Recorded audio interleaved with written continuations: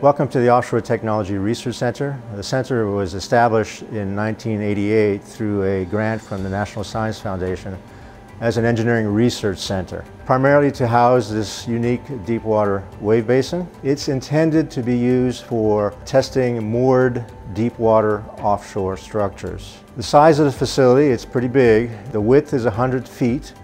The length from concrete wall to concrete wall is 150 feet and the depth to the main blue floor is 19 feet. And shortly after it was completed and, and started uh, doing work for industry and academia, there was a need that came up that said, well, instead of just testing in waves, can we also test in wind and current? So those two capabilities were added.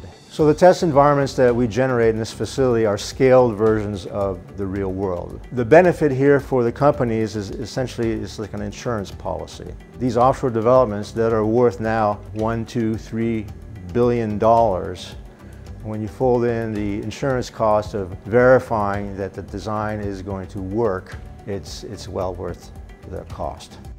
So behind me is a, is a wave generator. It's a directional wave generator, meaning that we're able to generate sort of lumpy water, waves that come from multiple directions in the test area. So it's a system of 48 wave paddles and each paddle is individually controlled.